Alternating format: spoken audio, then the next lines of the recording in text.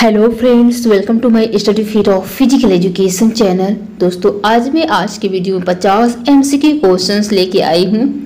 शुरू से लास्ट तक वीडियो देखिएगा। एक एक क्वेश्चंस कंप्लीट करते हुए जाइएगा। एक एक क्वेश्चंस आपके लिए मोस्ट इंपॉर्टेंट होते हैं। कंसिस्टेंसी बनाए रखिएगा। एंड दोस्तों फ़िज़िकल एजुकेशन के किसी भी कंपटीशन एग्ज़ाम का आप प्रिपरेशन कर रहे हैं तो मेरे चैनल पे सभी प्रकार के वीडियोज़ अवेलेबल हैं। सभी चैप्टर का topic wise three session detail में बताया गया है and chapter wise MCQ practice कराया गया है। प्रीवियस ईयर क्वेश्चंस का प्रैक्टिस कराया गया है। एंड बीपीएससी टीआई टू में मैंने उन्यासी ऐसी वीडियोज़ का इंग्लिश हिंदी में प्रैक्टिस कराया हुआ है। एंड 2024 के प्रैक्टिस सेट में ये तिरपनवा वीडियो है। तो दोस्तों चलते हैं आज के क्वेश्चंस की तरफ़। क्वेश्चन है दोस्तों राजकुमारी अमृत कौर का संबंध किस खेल से रहा है? तो दोस्तों, जैसा कि आप जानते हैं, राजकुमारी अमृत कौर जो है, वह भारत की पहली स्वास्थ्य मंत्री थी और उन्होंने पटियाला में उन्नीस सौ तिरपन में राजकुमारी अमृत कौर कोचिंग स्कीम भी शुरुआत किया, जिसमें अच्छे खिलाड़ियों को प्रशिक्षण दिया जाता था। और यहाँ पे क्वेश्चन पूछा है कि किस खेल से इनका संबंध रहा है? तो ये टेनिस प्लेयर थी, ठीक है? तो टेनिस से इनका संबंध रहा था। ठीक है? एंड नेक्स्ट क्वेश्चन है। महिलाओं के लिए फुटबॉल की राष्ट्रीय ट्रॉफी का क्या नाम है? तो दोस्तों, महिलाओं के लिए फुटबॉल के राष्ट्रीय ट्रॉफी का नाम है बेगम हज़रत महल ट्रॉफी एंड दोस्तों फुटबॉल के अंतर्गत संतोष ट्रॉफी एंड जूनियर पुरुष के लिए doctor B C Roy trophy सब जूनियर पुरुष के लिए मीर इकबाल हुसैन ट्रॉफी अंतर विद्यालय ट्रॉफी के अंतर्गत सुब्रतो कप एंड सीनियर महिला के लिए बेगम हज़रत महल ट्रॉफी एंड अखिल भारतीय अंतर विश्वविद्यालय ट्रॉफी के अंतर्गत आशुतोष मुखर्जी ट्रॉफी फुटबॉल के अंतर्गत आता है। और प्रमुख ट्रॉफियाँ हैं फुटबॉल के अंतर्गत Chakola gold cup, FIFA cup, Merdeka cup, Rovers cup, Nehru cup, Asia cup, Nagji trophy, Vittal trophy, Todd memorial trophy, Pacific cup, Rajiv Gandhi gold cup, Kalinga cup, Scissors cup Durand cup, ये सभी क्या है? Copa cup SAFF cup, Lal Bahadur Shastri trophy अंतर्राष्ट्रीय Nehru gold cup आदि इसके अंतर्गत आते हैं। दोस्तों, आगा खा कप, लेडी रतन टाटा, ये दोनों आपका हॉकी के अंतर्गत आ जाएँगे। नेक्स्ट है, पर हेनरिक लिंग का संबंध किस देश से है? तो दोस्तों, इन्होंने स्वीडन में साहित्य शिक्षा का विकास किया। तो इनका संबंध है स्वीडन से। नेक्स्ट है हार्वर्ड स्टेप टेस्ट किसने बनाया? तो आप सबको पता है किसने बनाया दोस्तों? कई बार रिविट हो चुका है ल्यूसिन ब्रोहा ने बनाया। 1943 में कार्डियो रेस्पिरेटरी एंडोरेंस मेजर किया जाता है इससे। नेक्स्ट है कंप्लीट फ़ूड किसे कहा जाता है? तो दोस्तों कंप्लीट फ़ूड कहा जाता है दूध को। दूध क्या है? एक संपूर्ण आहार है कंप्लीट फ़ूड है।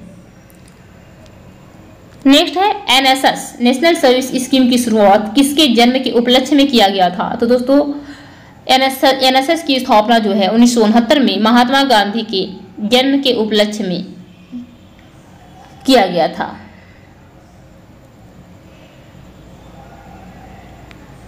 नेक्स्ट है, महिलाओं के लिए 400 मीटर बाधा दौड़ में बाधा की ऊंचाई कितनी होती है? तो दोस्तों, महिलाओं के लिए 400 मीटर बाधा दौड़ में बाधा की ऊंचाई जो है, कितनी होती है? तो 0.762 मीटर 0.762 मीटर होती है।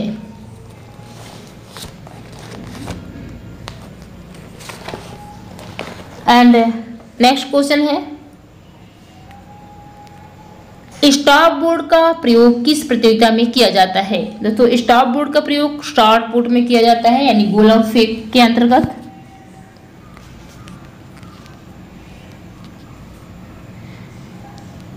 नेक्स्ट दोस्तों पीचर नामक शब्द किस खेल में प्रयोग किया जाता है? तो पीचर शब्द जो है, वो बेस बाल के अंतर्गत प्रयोग किया जाता है। नेक्स्ट है, शतरंज खेल का जन्म किस देश में हुआ? तो शतरंज हो गया। खो खो हो गया, ये भारत में ही इनका जन्म हुआ है।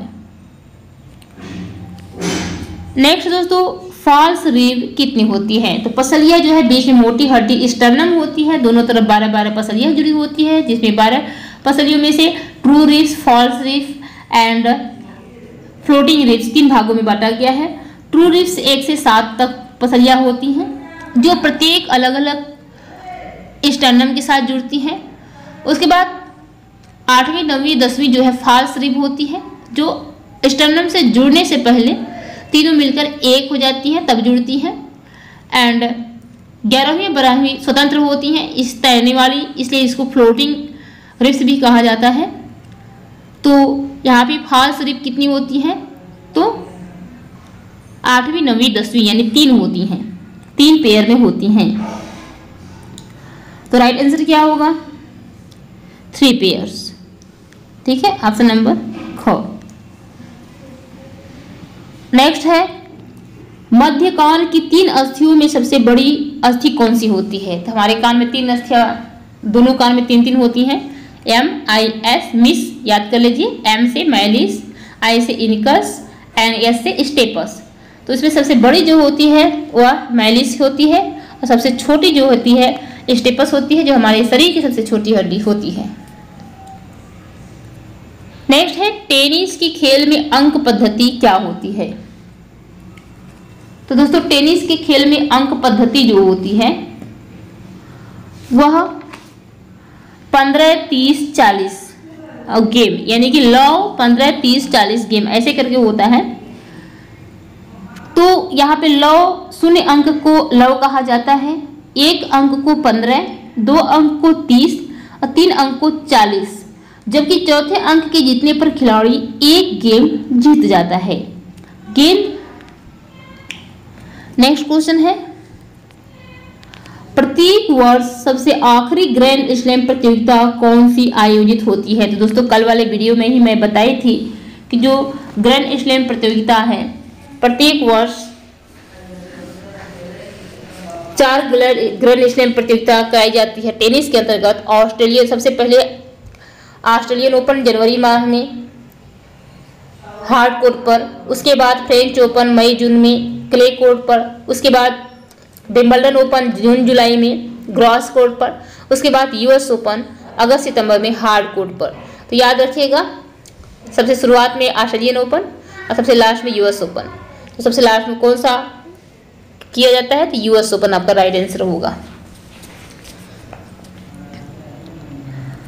नेक्स्ट है नीडिंग किस प्रकार का मसाज है? तो दोस्तों नीडिंग किस प्रकार का मसाज है? तो मसाज चार प्रकार का होता है स्ट्रोकिंग यानी सहलाना, प्रेशन यानी दबाना परक्यूजन यानी थपथपाना सैकिंग यानी झकझोरना जिसमें से स्ट्रोकिंग एफिलरेज और स्ट्रोकिंग दो प्रकार का होता है, और प्रेशर में क्या होता है? विशिष्ट क्षेत्र पर हड्डियों की गहराई तक दबाया जाता है, जिसमें तीन प्रकार का होता है नीडिंग पेट्रिसाज और फ्रिक्शन नीडिंग यानी गूथना फेट्रिसाज यानी चुकुटना फ्रिक्शन यानी घर्षण. तो जो नीडिंग होता है, किसके अंतर्गत आएगा? प्रेशर के अंतर्गत. याद रखिएगा. और तीसरा प्रकार होता है परक्यूजन यानी थपथपाना. ठीक है? ये चार प्रकार के होते हैं. हैकिंग क्यूपिंग बीटिंग पाउंडिंग ठीक है? और जो चौथा होता है सैकिंग यानी जग जोड़ना, वो दो प्रकार का होता है vibration and shaking next question है दोस्तों। नेड्रोलोन क्या है? नेड्रोलोन क्या है? तो दोस्तों, नेड्रोलोन एक है एनाबोलिक स्टेरॉयड एजेंट्स है, जो मांसपेशियों में असीम शक्ति बढ़ा देती है। एक डोपिंग एजेंस है। नेक्स्ट है, यूईएफए कप का संबंध किस देशों से है? तो यूईएफए कप का संबंध जो है, वो यूरोप से है। नेक्स्ट है, पहला राजीव गांधी खेलरत्न पुरस्कार किसे मिला? तो आप सबको पता है, विश्वनाथन आनंद महान शतरंज खिलाड़ी को मिला है। एंड दोस्तों, अब जैसे कि भारत के राष्ट्रीय खेल रत्न पुरस्कारों में सबसे बड़ा पुरस्कार राजीव गांधी खेल रत्न पुरस्कार था। अब राजीव गांधी खेल रत्न पुरस्कार का नाम बदल करके मेजर ध्यानचंद खेल रत्न पुरस्कार कर दिया गया है। और सब सर्वोच्च खेल पुरस्कार भारत का अब मेजर ध्यानचंद खेल रत्न पुरस्कार माना जाता है। नेक्स्ट है, व्यवहारवाद यानी एक्सपेरिमेंटलिज्म का जनक किसे कहा जाता है? तो व्यवहारवाद जिसे प्रयोगवाद या व्यवहारवाद भी कहा जाता है तो इसके प्रवर्तक हैं जॉन डीवी। जबकि आदर्शवाद का है, आइडियोलिज्म के प्लेटो। एंड यथार्थवाद रियलिज्म के कौन है? अरस्तु। ठीक है?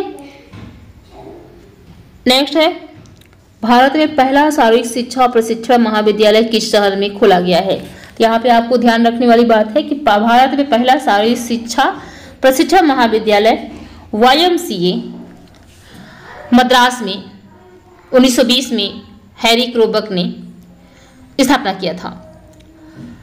तो जब इस प्रकार का क्वेश्चन पूछेगा कि भारत में पहला शारीरिक शिक्षा प्रशिक्षण महाविद्यालय किस शहर में है? कौन सा है? तो वाईएमसीए है। जबकि ऐसे पूछेगा कि भारत में पहला राष्ट्रीय प्रशिक्षण महाविद्यालय कौन है, तब एल ग्वालियर मध्य प्रदेश हो जाएगा। Lakshmibai college of physical education. राष्ट्रीय पूछेगा तब। नेक्स्ट है, हॉकी के खेल में टाई होने के पश्चात दोनों टीमों को पाँच पाँच पेनाल्टी स्ट्रोक मिलता है। उसके पश्चात भी अगर टाई रह जाए तो निर्णय किस आधार पर होगा? तो दोस्तों, आप सबको पता है ही कि इसके बाद निर्णय किस आधार पर होता है? ठीक है? तो सडेन डेथ के आधार पर। किस आधार पर होगा? सडेन डेथ के आधार पर। एंड नेक्स्ट क्वेश्चन है। सैफील्ड क्लब का संबंध किस खेल से है? दोस्तों सैफील्ड क्लब का संबंध फुटबॉल से है। किससे है? फुटबॉल क्लब से है। जैसे कि दोस्तों सैफील्ड फुटबॉल क्लब जो है, वह फुटबॉल का पहला क्लब है, जो 24 अक्टूबर अठारह इंग्लैंड में बना था। और फुटबॉल में भारत का पहला क्लब कौन है? तो डलहौजी क्लब 1880 में पश्चिम बंगाल, कोलकाता में बना था। तो विश्व में फुटबॉल का पहला क्लब सैफेल्ड फुटबॉल क्लब और भारत में फुटबॉल का पहला क्लब डलहौजी क्लब। नेक्स्ट है ड्वार्फिज्म नामक रोग किस हार्मोन की कमी से होता है? तो दोस्तों ड्वार्फिज्म नामक रोग जो है, वह किस हार्मोन की कमी से होता है? तो सोमेटो स्टेटिन हार्मोन की कमी से। किस हार्मोन की कमी से? सोमेटो स्टेटिन हार्मोन यानी कि एच इसको जीएच भी बोला जाता है ग्रोथ हार्मोन भी बोला जाता है, जो पिट्यूटरी ग्लैंड से स्त्रावित होता है। तो यहाँ पे राइट आंसर हो जाएगा सोमेटो स्टेटिन हार्मोन की यदि कमी हो जाता है, जिसे ग्रोथ हार्मोन भी कहते हैं, इसकी कमी से ड्वार्फिज में। यानी बचपन में कम स्त्राव से बोनापन ड्वार्फिज बोनापन हो जाता है। एंड वयस्कों में पिट्यूटरी मिक्सीडिमा हो जाता है। एंड इसकी वृद्धि से अतिवृद्धि में हो जाता है एंड अग्रातिकायता एक्रोमिगेली रोग हो जाता है।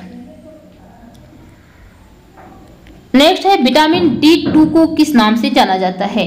तो विटामिन डी का रासायनिक नाम कैल्सीफिराल है, जिसको anti rachitic vitamin natural vitamin and kidney hormone आदि नामों से जाना जाता है। जिसमें से डी टू और डी थ्री मेन होता है। विटामिन डी टू को ऑर्गो कैल्सीफिराल और डी थ्री को कोले कैल्सीफिराल बोला जाता है। डी टू जिसको अर्गो कैल्सीफिराल बोला जाता है तो यहाँ पे राइट आंसर क्या हो जाएगा दोस्तों? Ergocalciferol. Ergocalciferol D two की कमी से टिटेनी रोग हो जाता है, अस्थियों में ऐठन हो जाती है।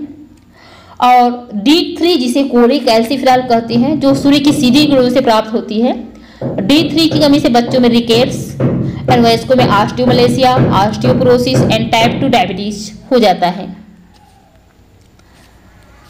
नेक्स्ट है नौ मीटर सर्कल का संबंध किस खेल से है? तो दोस्तों, इसका संबंध जो है हैंडबॉल से है। हैंडबॉल की जो लंबाई, चौड़ाई फ़ील्ड की होती है चालीस गुड़े बीस मीटर होती है। और जो बाहरी जो सर्कल होती है, बाहरी रेखा की गोल पोस्ट से दूरी जो है नौ मीटर होती है। एंड अंदरूनी गोल रेखा जो होती है, वो गोल पोस्ट की दूरी छः मीटर की होती है। गोल पोस्ट की चौड़ाई तीन मीटर एंड गोल पोस्ट की ऊंचाई दो मीटर होती है। हैंडबॉल में? नेक्स्ट है, चल संधि में कौन से कॉर्डिलेज पाए जाते हैं? तो दोस्तों कॉर्डिलेज तीन प्रकार के होती हैं इलास्टिक फाइबर हाईलाइन यानी कि उपास्थि। तो यहाँ पे आपका राइट आंसर हो जाएगा फाइबर्स कॉर्डिलेज कौन सी कॉर्डिलेज फाइबर्स कॉर्डिलेज नेक्स्ट दोस्तों सैक्रो इलियक ज्वाइंट किस प्रकार का जोड़ है?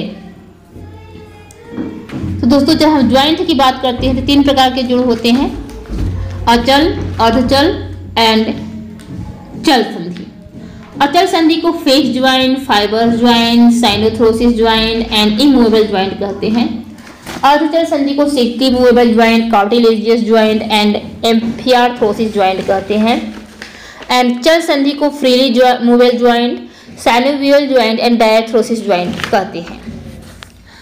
तो जो सैक्रोइलियक ज्वाइंट होता है, वो जो सैक्रम हड्डी जो पूछ वाला भाग होता है रीढ़ की हड्डी का अंतिम भाग सैक्रम हड्डी सैक्रम के बाद कॉक्सिजियल होता है तो सैक्रम हड्डी का बाहरी भाग इलियक हड्डी से जुड़ा हुआ कुल्ले में स्थित होता है। तो यह फिक्स ज्वाइंट यानी कि अचल संधि के अंतर्गत आता है। अचल संधि के अंतर्गत हमारा खोपड़ी का ज्वाइंट जिसे सुचर ज्वाइंट भी कहते हैं एंड सिंडेमोसिस यानी एंटीरियर टिबिया फिबुला ज्वाइंट जो चल संधि के पास होते हुए भी अचल होती है। कोई गति नहीं होता। एंड गोम्फोसिस जिसे पेगन साकेट ज्वाइंट कहते हैं दांतों का जो जोड़ होता है, वो भी आपका अचल संधि के अंतर्गत आता है। और आपका इंटरवर्टिबल ज्वाइंट रीढ़ की हड्डी का ज्वाइंट अचल अर्धचल संधि के अंतर्गत आता है। और प्यूबिक सिंफेसिस जो टेल बोन के पास का जोड़ होता है कुल्ले में कुल्ले का सबसे निचला हिस्सा, वो भी आपका अर्धचल संधि के अंतर्गत आता है। एंड सिनक्रोडोसिस जिसमें जोड़ों के मध्य हाईलाइन कॉर्टिलेज नीले रंग के मज़बूत व लकीले होते हैं रिब्स के बीच में, यानी पसलियों के बीच में तो पसलियाँ भी आपका अर्धचल संधि में आता है। नेक्स्ट क्वेश्चन है ओमेगा का संबंध किस पोषक तत्व से है? तो omega six fatty acid omega three fatty acid ये सब पाया जाता है वसा यानी कि फैट में। फैट का भाग है। नेक्स्ट है दोस्तों एसिक्स नामक कंपनी का संबंध किस देश से है? दोस्तों, इस कंपनी का संबंध है जापान से। नेक्स्ट दोस्तों रोहिंगटन बोरिया ट्रॉफी का संबंध किस खेल से है? तो दोस्तों, रोहिंगटन बोरिया ट्रॉफी का संबंध है क्रिकेट से। नेक्स्ट है, मॉर्डेगा कप का संबंध किस खेल से है? तो अभी जस्ट मैं बताई थी, Merdeka cup, Durand cup, Nagji trophy, ये सभी है फुटबॉल से। किससे हैं? फुटबॉल से रिलेटेड। नेक्स्ट दोस्तों कौन सा विटामिन हमारे शरीर में संग्रहित नहीं होता? तो विटामिन तो सभी संग्रहित नहीं होते हैं, लेकिन कुछ कुछ मात्रा में संग्रहित होते हैं, जैसे विटामिन ए यकृत में और विटामिन के जो है आपका बड़ी आंत में निर्माण होता है। एंड दोस्तों, जो विटामिन सी है, ऐसा विटामिन है जो हमारे शरीर में संग्रहित नहीं होता। ये यूरिन के साथ बाहर आ जाता है, डेली डेली बेसिस पे इसको लेना पड़ता है। नेक्स्ट है आस्टियो मलेशिया किस का रोग है तथा यह किसकी कमी से होता है? तो विटामिन डी थ्री की कमी से होता है एंड कैल्शियम की कमी से। विटामिन डी एंड कैल्शियम की कमी से आपका आस्टियोमलेसिया रोग होता है। नेक्स्ट है प्रीराइजेशन के अंतर्गत अंतिम चरण क्या होता है? तो इसमें तीन चरण होते हैं। Preparatory period competition period and transitional period preparatory में तैयारी किया जाता है। कंपटीशन में कंपटीशन होता है। एंड ट्रांजिशनल पीरियड में रिकवरी यानी कि आराम दिया जाता है। तो रिकवरी फ़ेज़ जिसे ट्रांजिशनल फ़ेज़ भी कहा जाता है। तीसरे पीरियड को हम कहते हैं ट्रांजिशनल फ़ेज़ ठीक है? यहाँ पे याद रखिएगा। नेक्स्ट है ह्यूमरस बोन का प्रॉक्सिमल पार्ट यानी समीपस्थ किस जोड़ से जुड़ा हुआ है? तो ह्यूमरस हड्डी किससे जुड़ा होता है? उसका समीपस्थ शोल्डर ज्वाइंट से। किससे जुड़ा होता है दोस्तों? शोल्डर सबसे समीपस्थ होता है।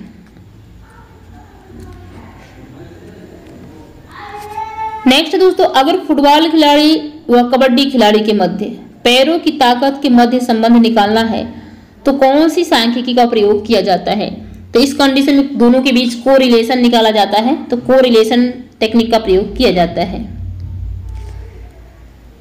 नेक्स्ट दोस्तों ऑप्थेल्मोलॉजी का संबंध किस अध्ययन से है? तो ऑप्थेल्मोलॉजी के अंतर्गत आँखों का अध्ययन किया जाता है। किसका अध्ययन किया जाता है? आँखों का। नेक्स्ट दोस्तों हैमर थ्रो को घुमाते समय कौन सा बल यानी फोर्स कार्य करता है? तो दोस्तों, जब हम हैमर थ्रो को घुमाते हैं तो जो फोर्स लगता है, वो अंदर की तरफ़, केंद्र की तरफ़ लगता है। तो जो केंद्र की तरफ़ बल लगता है, उसको सेंट्रीपिटल फोर्स कहते हैं। यानी कि अभी केंद्रीय बल। यहाँ पे राइट आंसर हो जाएगा आपका सेंट्रीपिटल फोर्स यानी कि अभी केंद्रीय बल। और जब हैमर को हम घुमा रहे हैं तो केंद्र की तरफ़ बल लग रहा है तो उसको सेंट्रीपिटल फोर्स ज़्यादा लग रहा है। जब घुमाने के बाद हम छोड़ते हैं तो छोड़ते वक्त केंद्र से बाहर की ओर बल लगता है तो उसको सेंट्रीफ्यूगल या अप केंद्रीय बल कहते हैं।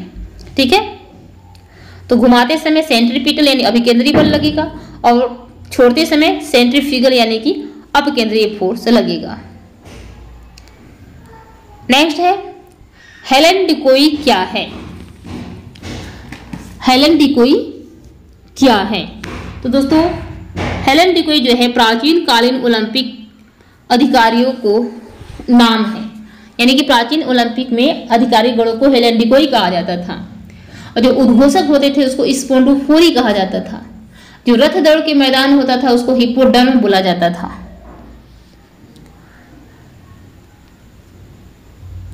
नेक्स्ट है ईवर आनवर्ड क्या है? तो दोस्तों ईवर आनवर्ड ईवर आनवर्ड यानी कि हमेशा आगे की ओर। यह आपका मोटो है एशियन खेलों का। किसका? एशियाई खेलों का मोटो है। यानी उद्देश्य है इवन आरवर्ड यानी हमेशा आगे की तरफ़ बढ़ना। ठीक है? नेक्स्ट है दोस्तों, नेहरू युवा केंद्र का गठन कब हुआ? तो दोस्तों, नेहरू युवा केंद्र का गठन उन्नीस सौ बहत्तर में किया गया। नेक्स्ट है आर्मी फ़िज़िकल ट्रेनिंग केंद्र कहाँ स्थित है? तो आर्मी फ़िज़िकल ट्रेनिंग जो केंद्र है, वह पुणे में स्थित है। नेक्स्ट दोस्तों ओलंपिक स्थल की खुदाई का कार्य सबसे पहले किस देश ने किया था? तो दोस्तों, ओलंपिक स्थल की खुदाई का कार्य सबसे पहले जर्मनी देश ने किया था। किसने किया था? जर्मनी देश ने 1800 4 अक्टूबर 1875 को जर्मनी के पुरातत्ववेत्ताओं द्वारा किया गया था, जिसका श्रेय दिया जाता है अर्नेस्ट कार्टियस को। नेक्स्ट है, मूलर दांतों की संख्या कितनी होती है? तो दांतें चार प्रकार की होती हैं। कौन कौन सी? Incisor canine premolar and molar तो ऊपर सोलह होती है, नीचे सोलह। तो इनसीजर कितनी होती है? ऊपर चार। केनाइन कितनी होती है? दो। प्रीमोरल कितनी होती है? ऊपर चार। और मोरल कितनी होती है? ऊपर छः कुल मिला के कितना हो गया? सोलह दांत। नीचे भी इतना ही रहेंगे तो इसका दो से भाग दे देंगे, कितना हो जाएगा? तो इंसीजर आठ हो जाएगा। केनाइन पूरा दो दो चार हो जाएगा प्री मोरल चार चार आठ हो जाएगा। अब मोरल कितना हो जाएगा? छः छः बारह। यानी कि मोरल पूछा है यहाँ पे तो क्या हो जाएगा मोरल का? बारह। कुल कितने होते हैं मोरल? बारह। यहाँ पे बारह आपका राइट होगा। नेक्स्ट है दोस्तों इसकलेरा किसका, किस का अंग का भाग है? दोस्तों इसके लेरा जो है, वो आँखों का भाग है। आँख की जो संरचना होती है, इसमें तीन परत होती हैं। वाह परत में वाइट आउटर लेयर में हमारा स्वेट पटल स्क्लेरा होता है, आँख जो बाहर से दिखाई दे रहा है, जो व्हाइट व्हाइट भाग दिख रहा है, उसको स्क्लेरा बोला जाता है। और एक कॉर्निया भाग होता है, जो आपका ब्राउन दिख दिख रहा है ब्राउन कलर का, ऊपर से शीशे जैसा। ठीक, और मध्य जो लेयर होती है, उसके अंतर्गत आपका कोराइड होता है, जो अंदर कार्निया के अंदर भूरा भूरा भाग है। And ciliary body and iris जो आयरिस जो होता है, पुतली जिसे कहते हैं, बिंदु जैसा जो दिखाई देता है आँख में। और आंतरिक परत में होता है हमारा रेटिना एंड नेत्र गोलक। आंतरिक परत में हमारा कौन होता है? रेटिना होता है, जिसमें हमारा वस्तु का प्रतिबिंब बनता है। नेक्स्ट है वॉलीबॉल कहाँ का राष्ट्रीय खेल है? तो आप सबको पता है, श्रीलंका का राष्ट्रीय खेल है वॉलीबॉल। नेक्स्ट है ब्लड प्रेशर को बढ़ाने के लिए किस इंजेक्शन का प्रयोग किया जाता है? तो दोस्तों ब्लड प्रेशर को अगर बढ़ाना है तो एल्ब्यूमिन इंजेक्शन का प्रयोग किया जाता है। एल्ब्यूमिन इंजेक्शन का। नेक्स्ट है नी फ्लेक्शन में कौन सी मसल्स इंसेंट्रिक रूप से कॉन्ट्रैक्ट होती है? दोस्तों नी यानी घुटने को मोड़ने में फ्लैक्शन में इसेंट्रिक रूप से बोल रहा है। तो फ्लैक्शन में कंसेंट्रिक रूप से होगा, यानी मोड़ने में काम आ रहा है हमारा हेमस्ट्रिंग मसल्स जो तीन पीसीओ से मिलकर बना होता है semimembranosus semitendinosus and biceps femoris ये तीनों मिलकर के हेमस्ट्रिंग मसल्स होती हैं, जो घुटने को मोड़ने में काम आती है। और उसके जांग के ऊपर कौन सी मसल्स होती है? क्वाड्रिसेप्स जो उसके विपरीत कार्य कर रही है तो इसेंट्रिक का कार्य, यानी कि घुटने को फैलाने का काम करती है। क्वाड्रिसेप्स यहाँ पे इसेंट्रिक का काम कर रहेगी क्वाड्रिसेप्स यहाँ पे राइट आंसर हो जाएगा। अड़तालीस का। गो नेक्स्ट है, प्रथम श्रेणी। लीवर में अगर अक्ष को, यानी एक्सिस को बल की तरफ़ लाए, लाया जाए तो यह किसके लिए कार्य करेगा? तो दोस्तों एक्सिस को बल की तरफ़ हम लाएँगे तो यह गति के लिए कार्य करेगा। प्रथम श्रेणी के उत्तोलक में एक्सिस बीच में एंड द्वितीय श्रेणी के उत्तोलक में रेसिस्टेंस यानी भार बीच में, तृतीय श्रेणी के उत्तोलक में फोर्स यानी कि बल बीच में होता है। नेक्स्ट है हॉट प्रिंसिपल का प्रयोग किस खेल में किया जाता है? तो दोस्तों हॉट प्रिंसिपल का प्रयोग शूटिंग यानी निशानेबाजी में के अंतर्गत किया जाता है। तो दोस्तों, ये था आज की सेशन में 50 एमसीक्यू क्वेश्चंस आई होप कि आपको अच्छे से समझ में आया होगा। जिस भी क्वेश्चन में डाउट होगा कमेंट में ज़रूर बताइए और ज़्यादा से ज़्यादा वीडियो को शेयर कीजिए, जिससे अन्य लोगों तक वीडियो पहुँच सके। तो दोस्तों, मिलते हैं नेक्स्ट वीडियो प्रैक्टिस में। तब तक के लिए